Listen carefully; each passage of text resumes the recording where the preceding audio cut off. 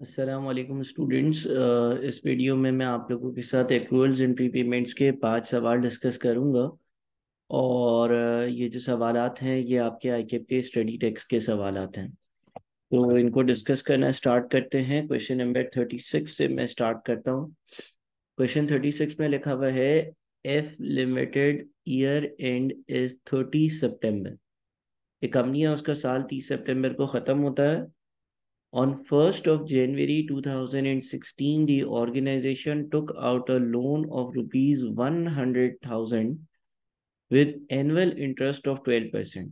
एक कंपनी ने पहली जनवरी 2016 को एक लाख रुपए का लोन लिया और वो जो लोन है उस पर 16 12 परसेंट का इंटरेस्ट देना the interest is payable in equal instalments on the first day of April July October and January in arrears in arrears का क्या मतलब होता है? इन एरियर्स का मतलब होता है ये वक्त गुजरने के बाद।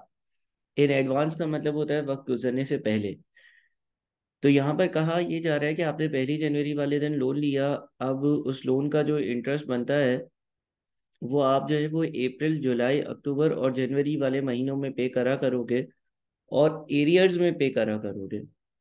अब देखिए, हो ये रहा है कि आपने लेट से पहली जनवरी 2016 को लोन लिया तो आपने यहाँ पर लोन लिया होगा। उसके बाद आपने पहली बार जनवरी, फरवरी, मार्च तीन महीने, जनवरी, फरवरी, मार्च तीन महीने गुजरे तो आपने पहली अप्रैल 2016 को पहली बार इंटरेस्ट पे करा। पहली अप्रैल 2016 को जो आपने इंटरेस्ट पे करा, वो जनवरी फरवरी एंड मार्च इन तीन महीनों का था। इसके बाद अप्रैल, मई और जून। अप्रैल का पूरा महीना, मई का पूरा महीना और जून का पूरा महीना गुजरा तो आपने जो है ना वो पहली जुलाई वाले दिन इंटरेस्ट पे करा और पहली जुलाई वाले दिन जो आपने इंटरेस्ट पे करा होगा वो अप्रैल, मई एंड जून का इंटरेस्ट होगा। फिर आपने जुलाई अगस्त और सितंबर, तीन महीने गुजरे और आपने पहली अक्टूबर 2016 वाले दिन आपने जो इंटरेस्ट पे करा वो जुलाई, अगस्त एंड सितंबर वाले महीनों का पे करा। फिर आपके पास अक्टूबर, नवंबर और दिसंबर गुजरा तो आपने पहली जनवरी 2016 वाले दिन दोबारा से जो इंटरेस्ट पे करा वो अक्टूबर नवंबर एंड दिसंबर वाले महीनों का इंटरेस्ट था। How much should be charge to profit and loss for the year ended 30 September 2016 and how much should be accrued on the statement of financial position अच्छा अब देखें प्रॉफिट एंड लॉस अकाउंट में उस time period का interest जाता है जिस time period तक मैंने उसको यूटिलाइज किया रिगार्डलेस कि उसकी पेमेंट हुई हो या पेमेंट नहीं हुई हो।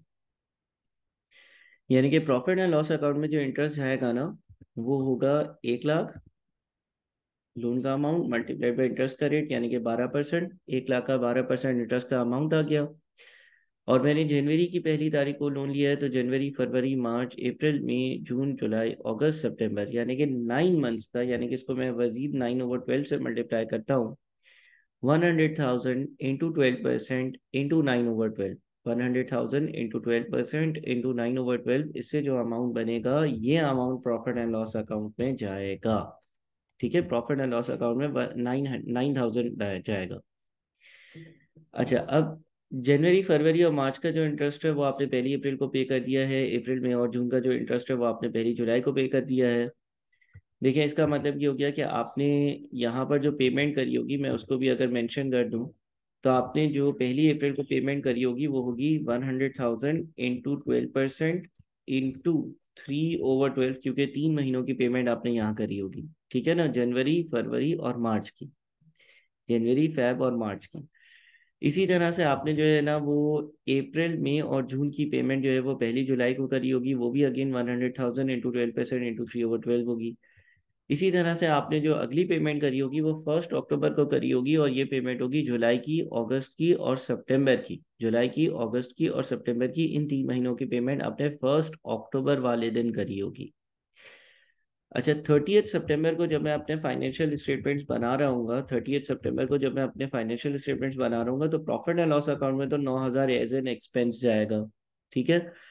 दूसरी बात यह है कि स्टेटमेंट ऑफ़ फाइनेंशियल पोजीशन में क्या जाएगा? स्टेटमेंट ऑफ़ फाइनेंशियल पोजीशन में एक्रूअल्स और प्री पेमेंट्स की है, या तो एक्रूड अमाउंट आता है, या तो प्रीपेड अमाउंट आता है।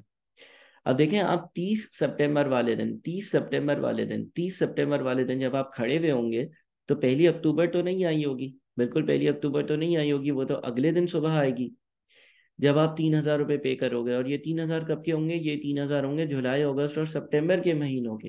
ये तीन हज़ार जो होंगे, ये जुलाई, अगस्त और सितंबर के महीनों के होंगे। जुलाई, अगस्त और सितंबर के महीनों के जो तीन हज़ार रुपये हैं, वो आपने पहली अक्टूबर को पे करे होंगे। तो तीस सितंबर वाले दिन ये अमाउंट तो आपकी एक लाइबिलिटी होगी बिकॉज़ तीन महीने गुजर चुके हैं, लेकिन आपने पेमेंट नहीं करी होगी। लिहाजा जो हमारा स्टेटमेंट ऑफ़ फाइनेंशियल पोजीशन होगा, उसमें तीन हज़ार का एक्रूड एक्सपेंस जाएगा। एक्रूड एक्सपेंस इसलिए जाएगा क्योंकि ये आपने अभी पे करना है या आपने पे नहीं किया या तीस सितंबर वाले दिन तक आपका जुलाई, अगस्त और सितंबर वाला जो बिल है, जो एक्सपेंस का अमाउंट है, वो पेंडिंग है, वो ड्यू है, वो बाकी है, वो आपने पे करना है तो आपकी तीस सितंबर वाले दिन ये लाइबिलिटी होगी। सर, ये दोनों लाइबिलिटीज नहीं होंगी, नहीं, ये दोनों लाइबिलिटीज नहीं होगी, क्योंकि जो अमाउंट था वो आपने अप्रैल की पहली और जुलाई की पहली तारीख को पे कर दिया होगा। तो ऑब्वियसली वो आपका जो है अमाउंट वो आपका क्या कहते हैं पेएबल नहीं होगा।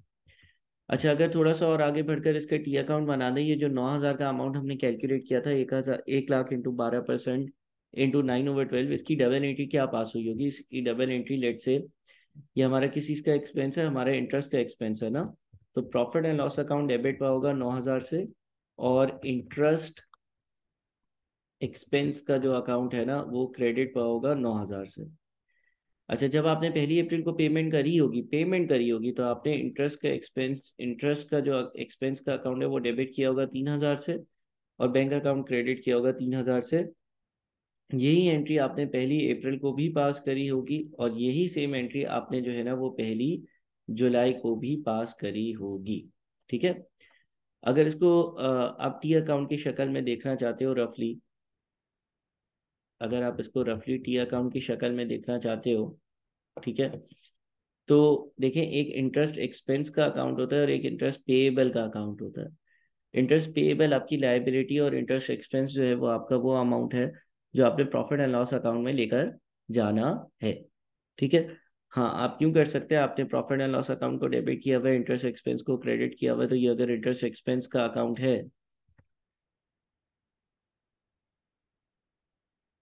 तो यहाँ पर ये प्रॉफिट एंड लॉस अकाउंट में नौ हज़ार जा रहे हैं।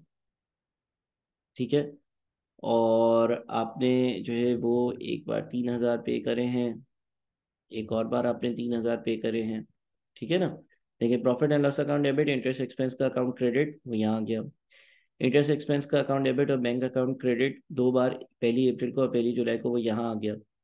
तो अब अगर आप देखते हो कि भाई नौ हज़ार की लाइबिलिटी थी और आपने तीन हज़ार तीन हज़ार छः पे कर दिया आप जब इसका कैरी डाउन निकालोगे ऑब्वियसली हायर टोटल दोनों साइड्स पर लिखा जाता है तो नौ हज़ार नौ हज़ार हायर टोटल होगा। हायर टोटल में से जो लोअर टोटल्स हैं वो माइनस किए जाएँगे, जो हमारा ब्रॉड डाउन कैरी डाउन का तरीका होता है तो ये आपका बैलेंस सी डी आएगा। और यही अगली बार का बैलेंस बी डी या ब्रॉड डाउन होगा। और बैलेंस ब्रॉड डाउन जो है वो क्रेडिट साइड पर आने का मतलब ये है कि ये आपकी क्या है? ये आपकी लाइबिलिटी है। ठीक है? ये आपकी लाइबिलिटी है। अगले सवाल को डिस्कस करते हैं। On the first day of month number one business had prepaid prepaid insurance of rupees ten thousand prepaid insurance आपका एसेट होता है, यानी कि आपने किसी को इंश्योरेंस की अमाउंट पहले से दी हुई थी। On the first day of month eight it paid in full the annual insurance invoice of thirty six thousand to cover the following year the amount charge in profit and loss account and the amount shown in the statement of financial position at the end is ठीक है जी। वापस से ज़रा इस सवाल को आहिस्ता आहिस्ता कर कर पढ़ते हैं। सबसे पहले उसने आपसे ये लिखा है कि the first day of month number one a business had prepaid insurance of rupees ten thousand महीना जो नंबर एक था, उसके पहले दिन आपकी दस हज़ार की प्री पेड इंश्योरेंस थी। On the first day of month eight आठवें महीने के पहले दिन it paid in full. The annual insurance invoice of rupees 36000 to cover the following year. आठवें महीने के पहले दिन कंपनी ने अगले पूरे साल की जो इंश्योरेंस की अमाउंट है, वो पे कर दी। ठीक है? The amount charge in profit and loss account and the amount shown in the statement of financial position at the year end is तो मही साल के आखिर में प्रॉफिट एंड लॉस अकाउंट में कितनी अमाउंट जाएगी? और हमारे पास जो स्टेटमेंट ऑफ़ फाइनेंशियल पोजीशन होगा, उसमें कितनी अमाउंट जानी चाहिए, ये आपसे पूछा जा रहा है। ठीक है? अच्छा जी। अब यहाँ पर अगर हम इसको डिस्कस करते हैं, हम एक काम करते हैं, अपना जो इंश्योरेंस का एक टी अकाउंट होना चाहिए, रफ सा, वो बना लेते हैं। ये हमने इंश्योरेंस का अकाउंट बना लिया, ठीक है ना? अच्छा इसका जो ब्रॉड डाउन अमाउंट आ रहा है ना, यानी कि जो ओपनिंग आ रहा है, वो दस हज़ार आ रहा है। सही है ना? दस हज़ार का ब्रॉड डाउन हमारा डेबिट साइड पर क्यों आ रहा है? क्योंकि प्रीपेड इंश्योरेंस है। प्रीपेड इंश्योरेंस मेरा एसेट होता है। प्रीपेड इंश्योरेंस का मतलब ये होता है कि साल के शुरू में इतना मैंने ज़्यादा पे किया हुआ था, पिछले साल के आखिर में इस साल का दस हज़ार पे किया हुआ था। फिर इसने जो है ना वो थर्टी सिक्स थाउज़ेंड पे करे हैं मंथ नंबर एट पर। अच्छा जब आप पेमेंट करते हो लेट से इसको मैं जो है वो ज़रा मार्क कर दूँ, ये मेरा इंश्योरेंस का अकाउंट है। ये मेरा इंश्योरेंस का अकाउंट है। जब मैं पेमेंट करूँगा तो इंश्योरेंस का अकाउंट जो है वो डेबिट हो जाएगा थर्टी सिक्स थाउज़ेंड से और कैश का अकाउंट जो है ना वो क्रेडिट हो जाएगा थर्टी सिक्स थाउज़ेंड से। तो ये इंश्योरेंस का अकाउंट है इंश्योरेंस का अकाउंट जो है वो डेबिट होगा और कैश का अकाउंट क्रेडिट होगा। यानी कि मैं मजीद इंश्योरेंस को पे कर रहा हूँ तो मैं कैश या बैंक से उसको पे कर रहा हूँ तो थर्टी सिक्स थाउज़ेंड अब देखें यहाँ पर बड़ी इंटरेस्टिंग बात दिखी है, उसने लिखा है कि जो आपने मंथ नंबर एट के पहले दिन इंश्योरेंस का अमाउंट पे किया था, छत्तीस हज़ार का, वो आने वाले एक साल के लिए है। ठीक है? आने वाले एक साल के लिए है। On the first day of month 8, it paid in full the annual insurance invoice of 36,000 to cover the following year. अच्छा। इसका मतलब ये हो गया कि ये जो 36,000 मैंने पे किए हैं ये 36,000 मैंने पे किए 12 महीने के तो 12 से डिवाइड किया तो एक महीने की इंश्योरेंस की अमाउंट आ गई। हमें क्या कैलकुलेट करना है? हमें तो इस साल में प्रॉफिट एंड लॉस अकाउंट में कितना अमाउंट जाएगा और बैलेंस शीट में कितना अमाउंट जाएगा ये मालूम करना है। अब देखें, अगर मैंने मंथ नंबर एट के पहले दिन छत्तीस हज़ार रुपये पे किए हैं, जो आने वाले एक साल के हैं तो वो month number eight month number nine month number ten month number eleven month number twelve month number eight nine ten eleven twelve पाँच महीने इस साल के और सात महीने अगले साल के। समझ रहे हैं आप बात? भाई मैंने छत्तीस हज़ार रुपये पे किए, छत्तीस हज़ार रुपये एक साल की इंश्योरेंस है। और वो स्टार्ट हो रही है इस साल के महीने नंबर आठ की पहली तारीख से। तो इसका मतलब इस साल का month number eight month number nine month number ten month number eleven और मंथ नंबर ट्वेल्व इस साल के पाँच महीनों की इंश्योरेंस है इसमें। और अगले साल के, अगले साल के सात महीनों की इंश्योरेंस है। ठीक है ना? यानी कि मैं अगले साल की इंश्योरेंस प्री पे कर रहा हूँ। तो इसका मतलब अगर मुझे प्री पेड क्लोजिंग ढूंढना है तो छत्तीस हज़ार को बारह से डिवाइड और सात से मैं मल्टीप्लाई कर देता हूँ इक्कीस हज़ार।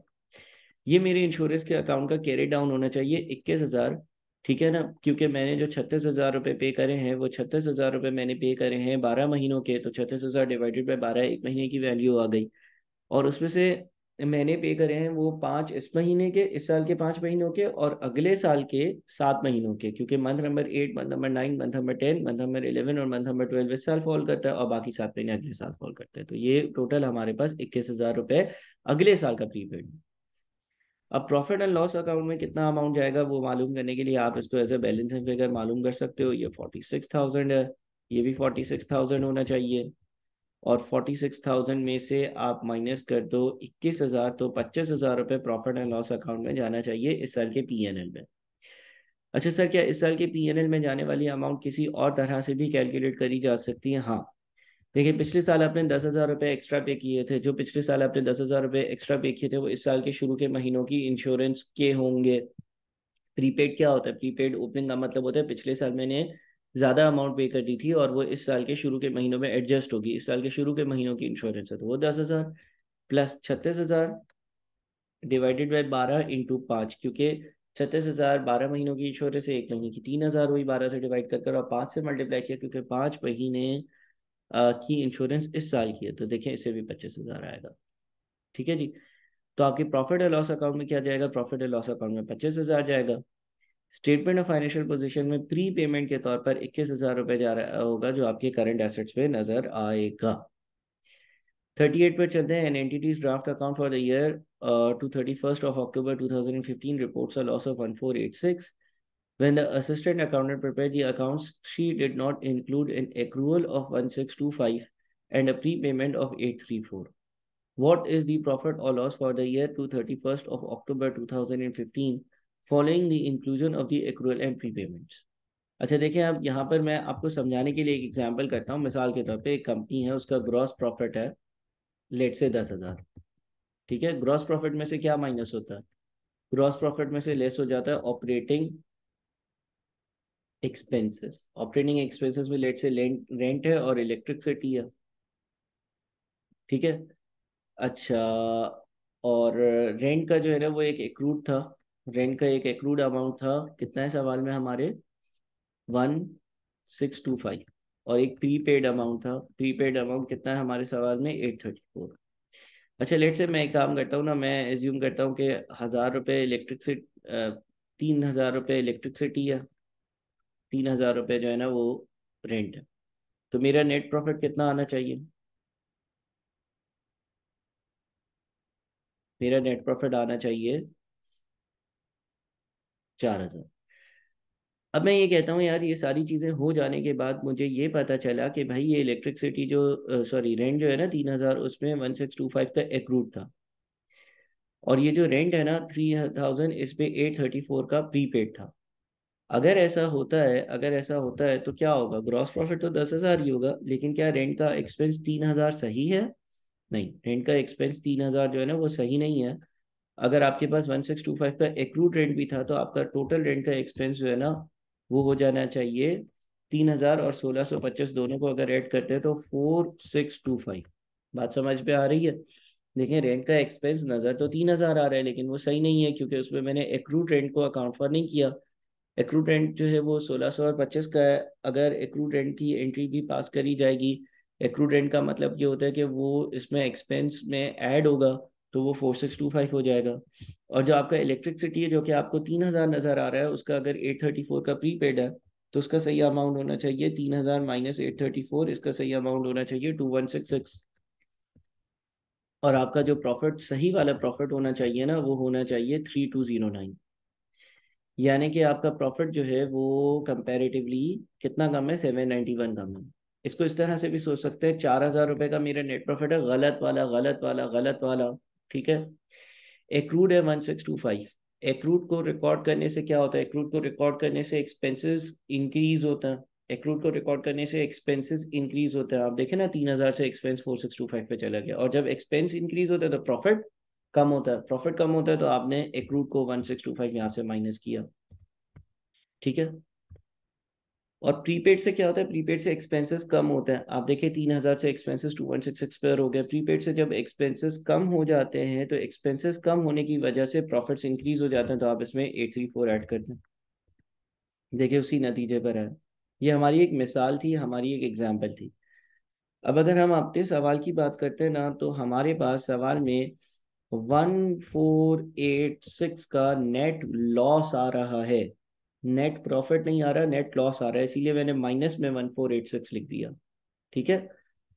अब अगर मैं एक एक्रूड एक्सपेंस को बुक करना भूल गया हूँ accrued expense one six two five का था एक्रूड एक्सपेंस अगर रिकॉर्ड होगा तो एक्सपेंसेस इंक्रीज होंगे, और एक्सपेंसेस इंक्रीज होंगे तो प्रॉफिट्स कम होंगे। यानी कि अगर वो अभी माइनस के वन फोर एट सिक्स पर है तो मजीद माइनस इसमें से वन सिक्स टू फाइव कर देते हैं। यानी कि लॉसेस बढ़ जाएँगे ना? प्रॉफिट्स कम होना या लॉसेस का बढ़ना एक ही बात है। और प्रीपेड 834 का है। प्रीपेड 834 का अगर रिकॉर्ड कर लिया जाता तो एक्सपेंसेस कम हो जाते हैं एक्सपेंसेस कम हो जाते तो प्रॉफिट्स बढ़ जाते। हैं प्रॉफिट्स बढ़ने का मतलब है लॉसेस का कम हो जाना, यानी कि 834 को हम ऐड कर लेते। हैं तो हमारा answer two two seven seven का लॉस आना चाहिए। ये याद रहे कि यहाँ पर जो हमारा सवाल है, उसमें लॉस की बात हो रही है तो आप पहले इस एग्ज़ाम्पल को समझिएगा, जो मिसाल मैंने करी है, और फिर इसको सही से करिएगा। ठीक है जी? तो आपने क्या किया? Minus one four eight six था, उसमें से मजीद माइनस किया one six two five because वो एक एक्सपेंस का इंक्रीज है, और फिर उसमें ऐड कर दिया एट थर्टी फोर ताकि जो आपके लॉसेज है, वो रिड्यूस हो जाए। अगला है the draft year end accounts were prepared without adjusting prepayment for end of 970 when the adjustment is made, which of the following will be affected thereof? Prepayment का मतलब ये होता है कि अगले साल के आने वाले का रेंट आपने अभी से पे कर दिया है और अगर आप प्री पेड रेंट को बुक करोगे तो प्री पेड रेंट के बुक करने की वजह से आपका जो रेंट का एक्सपेंस है वो रिड्यूस हो जाएगा।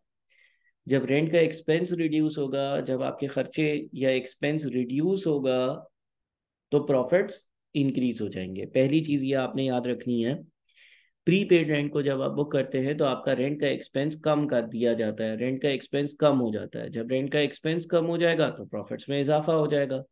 ठीक है? अगेन इसकी एक एग्जांपल से समझ लेते हैं। लेट से कंपनी का ग्रॉस प्रॉफिट है दस हज़ार। उसमें से हम लेस करते हैं ऑपरेटिंग एक्सपेंसेस को। ऑपरेटिंग एक्सपेंसेस में रेंट है, मिसाल के तौर पर। अभी जो रेंट है ना, वो है तीन हज़ार। तो मेरा जो नेट प्रॉफिट आ रहा है वो आ रहा है सात हज़ार। अब मैं ये कहता हूँ कि भाई एक प्री पेड रेंट था और वो जो प्री पेड रेंट था ना, वो था नौ सौ सत्तर का। तो प्री पेड रेंट की वजह से क्या होगा, मेरा जो रेंट का एक्सपेंस है उसको कम कर दिया जाएगा। रेंट का एक्सपेंस कम करने का मतलब ये है कि अब रेंट का एक्सपेंस तीन हज़ार नहीं होगा, बल्कि तीन हज़ार में से नौ सौ सत्तर तो अगले आने वाले साल के है तो ये टू ज़ीरो थ्री ज़ीरो होगा। जब ये टू ज़ीरो थ्री ज़ीरो हो जाएगा तो नेट प्रॉफिट डेफिनेट सी बात है कि इंक्रीज हो जाएगा। ठीक है? और आप देखिए कितने का इंक्रीज है इन दोनों के बीच। नौ सौ सत्तर का। तो इसका मतलब प्री पेमेंट को बुक करने की वजह से एक्सपेंसेस रिड्यूस होते हैं। प्री पेमेंट के बुक करने की वजह से एक्सपेंसेस रिड्यूस होते हैं। तीन हज़ार से दो हज़ार और तीस पर चले गए और प्रॉफिट जो है वो इंक्रीज हो जाता है। तो आपने जब प्री पेड बुक किया, आपके एक्सपेंसेस कम हो गए, आपका प्रॉफिट बढ़ गया। दूसरी बात यह कि प्री पेमेंट आपका एसेट होता है एसेट इंक्रीज होगा क्योंकि आपने अगले साल जो है वो इससे फ़ायदा उठाना होगा। आप अगले साल जो है वो कम एक्सपेंसेस पे करोगे बिकॉज़ इसी साल, अगले साल के एक्सपेंसेस पे किए हुए तो थर्टी नाइन का आंसर सी होगा। फोर्टी पर चलते हैं। Entity prepare draft year end account we do not adjust these for e payment for a prepayment of fifteen hundred and an accrual of four hundred how will the profit and net assets be affected by including the prepayments and accruals? Again आप चाहो तो एक example ले लो late से आपका जो gross profit है वो है ग्रॉस प्रॉफिट जो है आपका वो है पंद्रह हज़ार। ठीक है? इसमें से आप लेस करते हो अपने ऑपरेटिंग एक्सपेंसेस ऑपरेटिंग एक्सपेंसेस में आपके पास रेंट है और इलेक्ट्रिसिटी है। लेट से इलेक्ट्रिसिटी और रेंट तीन हज़ार और तीन हज़ार है। और आपके पास जो नेट प्रॉफिट है नेट प्रॉफिट है नेट प्रॉफिट है, वो नौ हज़ार आएगा। अब मैं ये कह देता हूँ कि भाई मैं जो है ना, वो एक प्री पेमेंट थी। लेट से रेंट पे एक प्री पेमेंट थी पंद्रह सौ की, वो रिकॉर्ड करना भूल गया था। ठीक है ना? अब जब मैं रेंट की प्री पेमेंट को रिकॉर्ड करूँगा तो क्या होगा? प्री पेमेंट रिकॉर्ड करने की वजह से एक्सपेंस कम करूँगा। एक्सपेंस अभी तीन हज़ार है तो वो पंद्रह सौ से कम होगा, पंद्रह सौ पे रह जाएगा। इलेक्ट्रिसिटी जो अभी तीन हज़ार है एक्रूवल्स को रिकॉर्ड करने की वजह से एक्रूवल्स यानी कि एक एक्सपेंस है जो मैंने अभी तक पे भी नहीं किया रिकॉर्ड भी नहीं किया, वो रिकॉर्ड करूँगा तो मेरे एक्सपेंसेस तीन हज़ार चार सौ पर चले जाएँगे। और ऐसा करने से फिर क्या होगा? ऐसा करने से मेरा जो नेट प्रॉफिट है ना, वो दस हज़ार और एक सौ पर चला जाएगा। इसका मतलब मेरा नेट प्रॉफिट जो है वो ग्यारह सौ से इंक्रीज हो जाएगा। ठीक है?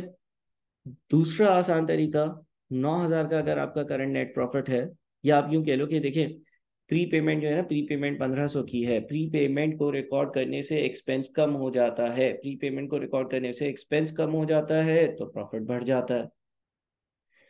एक्रूअल्स को रिकॉर्ड करने से एक्सपेंस बढ़ जाता है। जब एक्सपेंस बढ़ जाता है तो प्रॉफिट कम हो जाता है। ऊपर वाली एग्ज़ाम्पल से मैंने डेमोन्स्ट्रेट किया। तो एक का प्रॉफिट पर पॉजिटिव पंद्रह सौ का इम्पैक्ट है, दूसरे का नेगेटिव चार सौ का इम्पैक्ट है तो नेट इम्पैक्ट ग्यारह सौ का है।